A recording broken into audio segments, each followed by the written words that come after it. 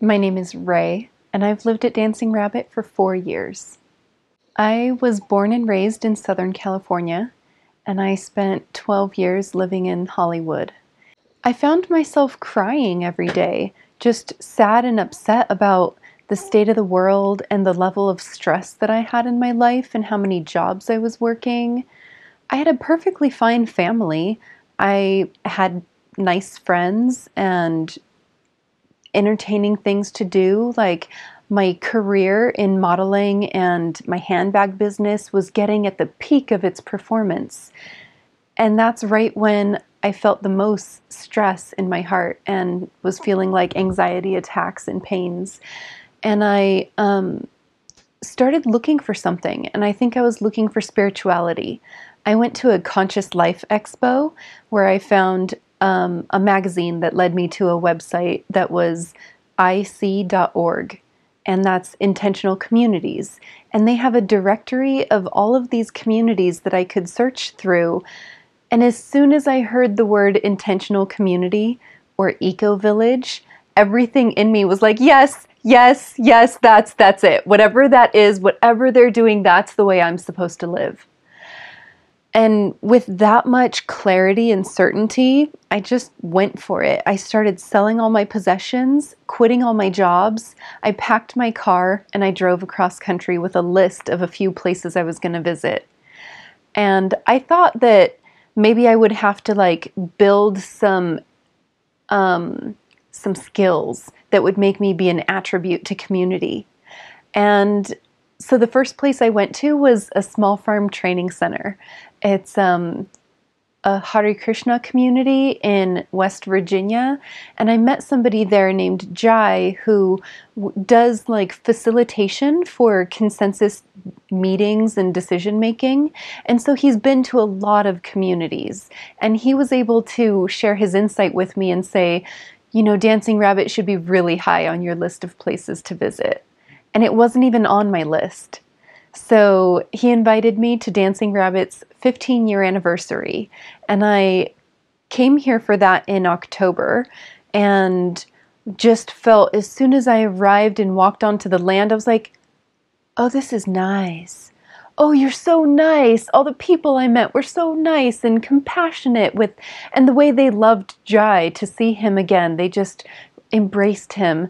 And I looked around like, how can I stay a little longer? How can I visit and come back? And they had a visitor program starting the following Monday. And in that visitor program, I met my partner, Aaron. And so after the visitor session, we both went our separate ways. We started talking on the phone over the winter. We started talking about building a house together at Dancing Rabbit. And the dreams of building a house just led us to okay, let's do this. Like, I don't even know you. I've known you for a week, but let's build a house together. and we met and kissed on 10 11 12, October 11th, 2012. And then I moved here after procrastinating leaving my friend's homestead for this many days and then this many days longer and oh but then the goats are going to have babies. I want to stay for that too. And then we're going to do this sweat lodge ceremony and i want to do that too. So by the time i arrived at dancing rabbit it was 12 12 12 december 12th 2012 and that was enough serendipitous to tell me okay i'm on the right track even if it's scary to commit to this new relationship and this new community, I'm going to go for it because everything else is telling me like I'm doing the right thing and I'm on track. When I arrived at Dancing Rabbit in December of 2012, I rented a room at the Milkweed Mercantile. I was able to stay in this luxurious straw bale accommodation and feel really comfortable while I was in this really uncomfortable, scary transition time.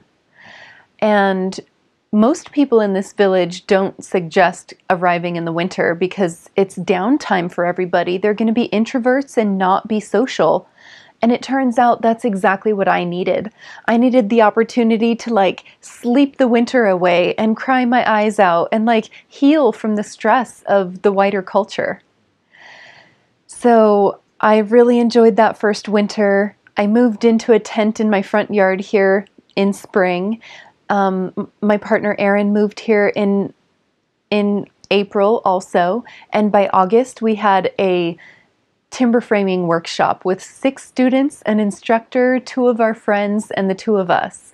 And we learned with all these other students how to do timber framing.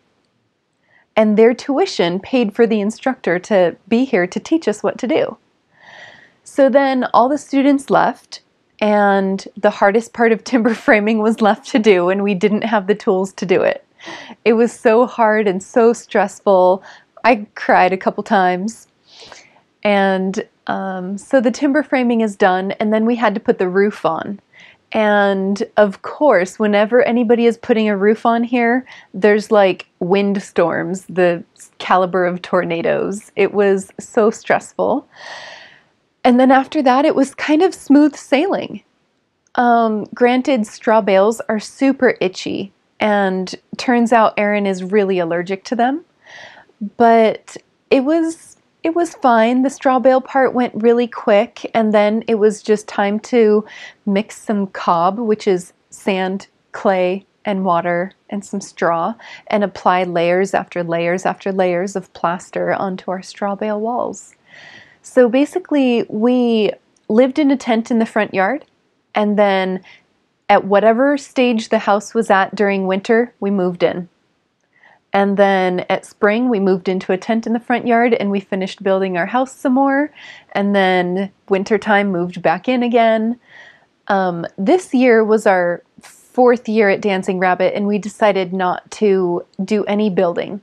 After three years of building, that was kind of enough. Our home was complete enough for us to feel like, great, this is time for us to focus on our business now. So, here at Dancing Rabbit, my partner and I um, make a living by doing a handful of things. Just like when I lived in California, I wore so many hats. And I do that here also, but the things that I do are way more in alignment with what I'm passionate about. So, to make a living, I do video production and uh, voiceover work. So I'm able to take some of the skills that I had in California and find a way for them to work in the middle of rural Northeast Missouri. Um, I also had a handbag business in California, and I didn't want to be creating something that people had to consume and buy. So now I get hired to make thick insulated curtains for people's homes it's something that they totally need and they would purchase and it would come from far away and they have this skilled crafter that's here and able to make it on farm. I also make an income by being the innkeeper at the Milkweed Mercantile. Uh, for six years, the Mercantile has been a privately owned business by Kurt and Aline. And this year, since March, we've been having meetings every week to talk about how to turn the business into a cooperative, which means that all of the workers for the cooperative, not only do we make our hourly income, but we also, at the end of the year, we get to share the profits of the business and choose how we're going to reinvest into that business also. Some of the other ways that I make an income here at Dancing Rabbit are a little less obvious. For example, I garden and I grow so much of my own food. I'm not completely self sufficient, nor is this community, but instead of spending money on food that gets transported from far away, I'm growing a lot of it in my garden and I know what the soil content is and what kind of nutrients are going into my food. Another thing is that I built my own home. So that saved me an enormous amount of money instead of hiring a contractor to do it. And I've learned a skill that can be another trade that if I want to, I could make an income by building homes or building pretty much anything I put my mind to. Next year, I'm going to build a greenhouse and a root cellar. The greenhouse will be just behind you. There's a door and a window there, and it'll be a vertical greenhouse. And then the root cellar will be bermed up against my neighbor's house, and we're going to share the root cellar and we're going to share a cistern because my neighbor and I, our homes are quite close together. And instead of putting up a wall and separating our spaces, we're going to share things in between our home. So my neighbor and I are going to share a root cellar and a cistern. A couple of other things that I do here at Dancing Rabbit that I don't necessarily get paid for is uh, a lot of volunteer work for the nonprofit. Dancing Rabbit is both a village and a nonprofit with an educational mission. And so I volunteer on the outreach committee and I organize what events we're going to go to and table at. And either I go and table there or I organize what group of rabbits here are going to go and table there. And I'm the media and education liaison. So, whenever media and film crews come to Dancing Rabbit, I host their visit here and help with their schedule of who to interview and where to eat and where to stay and where to find drinking water. And then educational groups, we bring at least two to four um, high school and college groups to Dancing Rabbit every year. And I organize where they're going to stay and what classes they're going to take and who's going to teach those classes and who's going to feed the students while they're here. One of the things I really appreciate about Dancing Rabbit and intentional community is that we are a self governing system. I actually have a voice in this community. I, I also have a secret. My secret is that I've never voted. Since I was 18, I registered to vote, and every year I read this stupid information about who and how and what I'm supposed to vote for.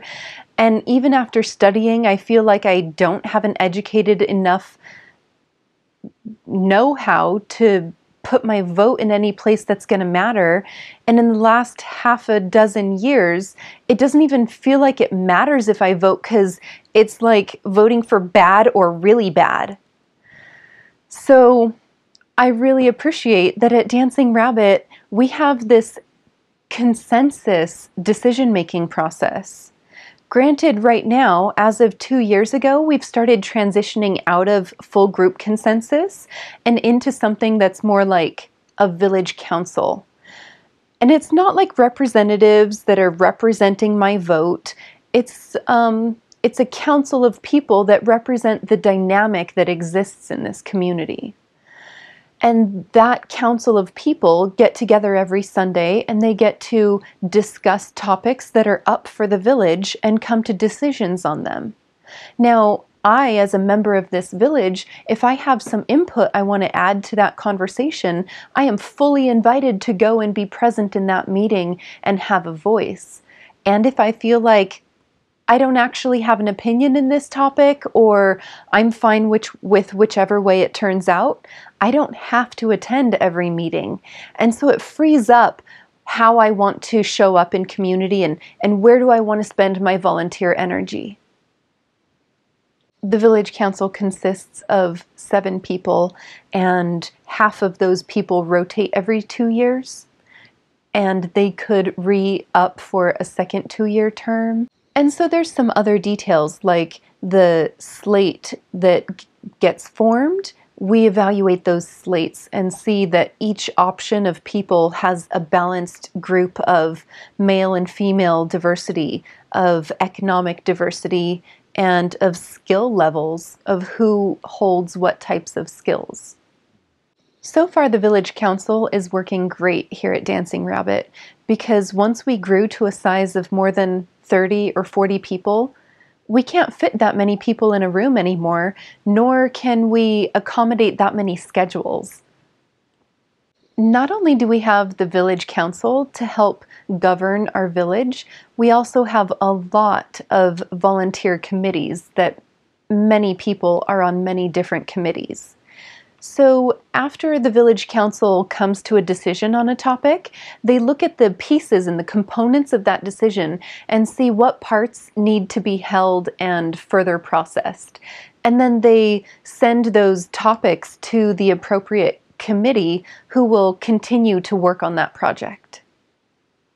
I think my favorite thing about Dancing Rabbit is getting to see the full group come together When I see all 50 people that I live with and that I love in a full circle together, maybe we're holding hands or singing a song or eating a meal together, or we're in a weekly meeting together where we're discussing topics and tactics of how to get the week to flow smoothly. I love feeling the energy of that whole group being together. I love looking around the room and remembering all the qualities of why I love those people. Every Sunday, we have a, a WIP, a week in preview meeting. And we get to look at the week that's coming up ahead and talk about things like announcements. Maybe I'm having a block party because it's my birthday and I want to invite all of you. And so I'll make that announcement at the week in preview meeting. Or it's just some items that I cleaned up out of my house and they're up for grabs. Or maybe it's an announcement about friends that are visiting and coming on farm.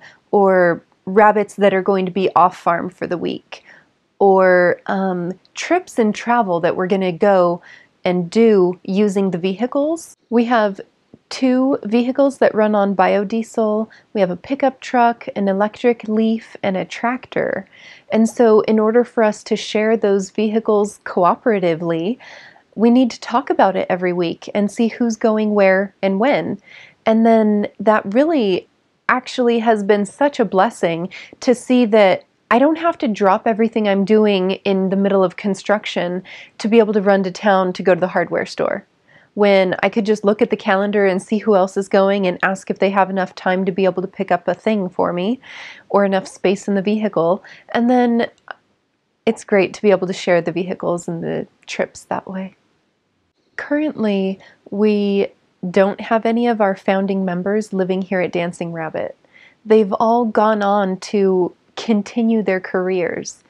I think that they felt like, okay, this is a village. It's going to go on and grow and be a village even without me there to nurture it. And so they've felt like, I still need to make an impact and a difference in this world, I've already done it this way through the eco village. What else can I do? And they've really pushed their envelope and their limits to see how their career could continue to protect the environment. And so, our last two founding members that were living here at Dancing Rabbit um, left a year and a half ago on a sabbatical where perhaps they might be right back, but it seems like things are working really well where they are and they're going to continue with their career. But they're working for organizations that are working towards changing legislation so that environmental um, policies can exist in legislation. Personally, I was greatly impacted by our last two founding members leaving Dancing Rabbit because I ate in the same food cooperative as they did. They welcomed me with warm embrace when I arrived here and helped me to transition into feeling confident here. And perhaps that's that's beautiful. They've maybe nurtured me to be somebody who can help to support this village in thriving. And I am doing that now. But uh, I'm also continuing the food cooperative that they started and entrusted to me, and uh, I appreciate that I get to support this community in that way. There are 25 natural buildings here at Dancing Rabbit Eco Village, and that is the biggest collection of natural buildings in the Midwest. We're located in the Midwest because there aren't any building code regulations here. So we're able to experiment with natural building in a way that we couldn't do on the east or west coast. There's only one cob structure here at Dancing Rabbit because cob is not nearly as insulative as straw bale. And so the one building that is here, if it was located in Northern California or Oregon, it would perform great. But in Northeast Missouri, where we have very severe climates, it's not highly efficient. It requires too much energy input to keep that structure at a comfortable temperature to live in. A straw bale home is going to have 18 inches of a straw bale insulation, and there's going to be three or four or five inches of plaster on either side of that straw bale. Now, as the sun is warming one side of that plaster, there's 18 inches of insulation before it starts to warm the wall on the inside of my house.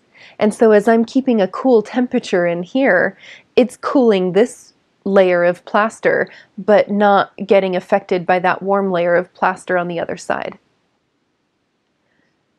A lot of the homes at Dancing Rabbit have earth contact. And that's really important because the earth wants to stay at a pretty constant 55 degree temperature. And so my house is able to stay at a really comfortable temperature as long as I do the manual labor of um, rise, raising and lowering the curtains every day and opening windows at night. It's pretty labor intensive, but it's such an easy way to heat and cool my house with very little energy input just by doing those things and having an earth contact, my house stays at an incredible 64 or 5 degree temperature. Every time I walk in my door, the first words out of my mouth is, Oh, it feels good in here. So there are a few different types of natural buildings, but I would say the biggest contrast to a natural building is a green construction. Compared to conventional construction, green construction is using very conventional looking materials, but they're harvested sustainably.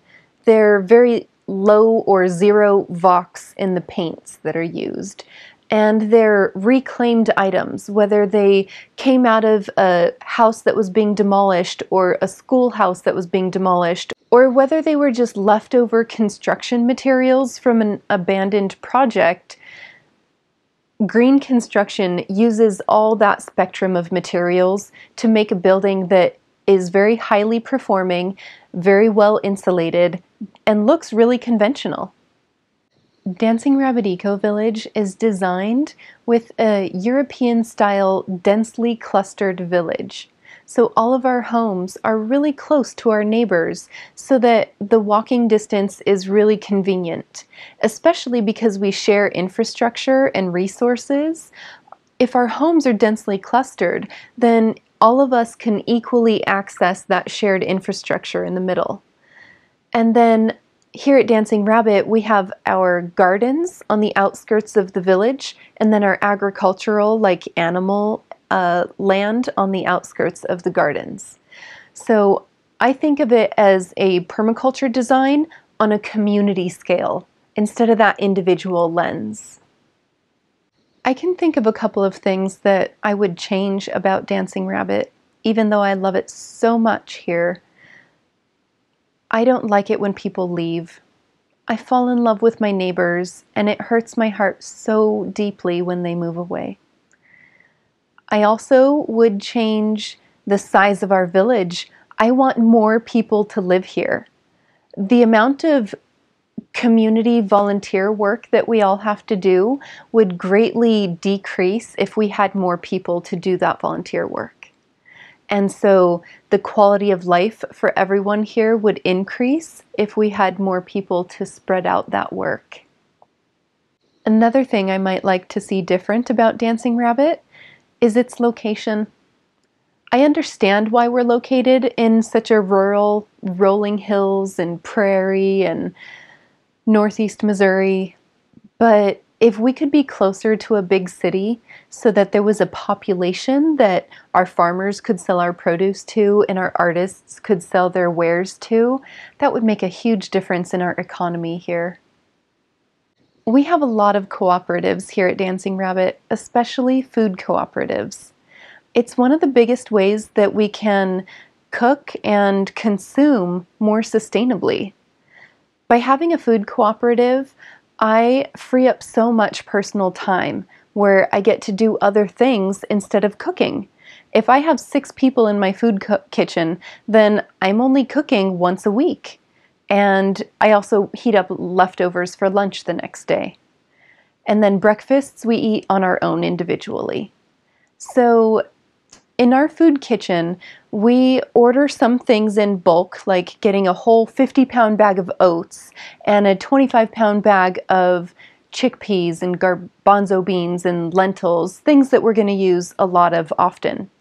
But then things that we don't use quite as often, we have the public market grocery store where my kitchen is able to share bulk items with other food co-ops around here in a really clean environment and it's easy to access and it's open 24 hours and so I can restock my kitchen at whatever time I choose to be cleaning the kitchen at.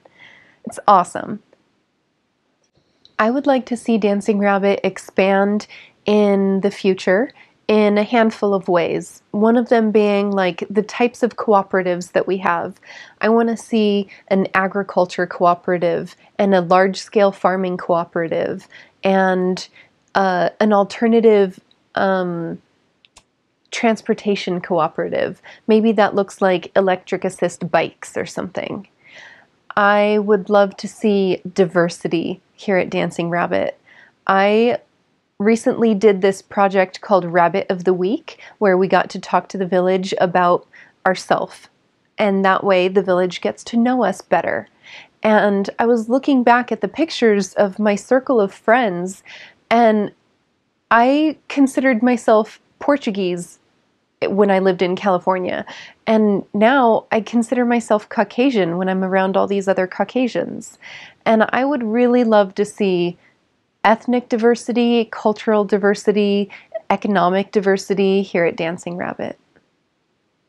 I think the most important thing to me about community and sustainability is that people find a way to make it work for them in their locations. I'm not saying that every single person has to come and live at Dancing Rabbit, but I need more communities to exist. I need folks to not reinvent the wheel, but to have connection with community and network so that it's a smooth transition to creating more community. And I need folks to learn from our community and take away the parts that work for them in their neighborhoods and be able to spread those messages in that way.